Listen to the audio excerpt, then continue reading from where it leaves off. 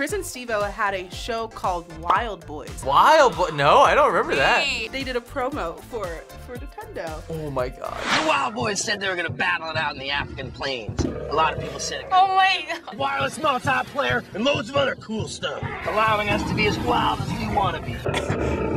Oh hell no! Oh, oh, Touching is good. That can't be real, right? Oh, it was That's real. real. Dude, I don't know how they're still alive with half the shit. that was not planned. Terrifying.